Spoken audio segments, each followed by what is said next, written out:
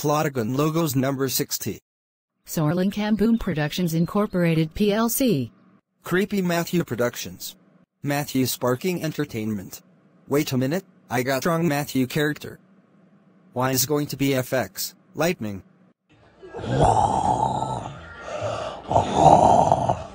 I'm scared of Band of Doom Productions. Yes! Clone Matthew Productions.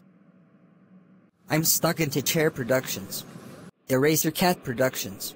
Matthew Sparking Entertainment. I sent into Backseat on Car Productions. Annoying Lizzie and Jessica Productions.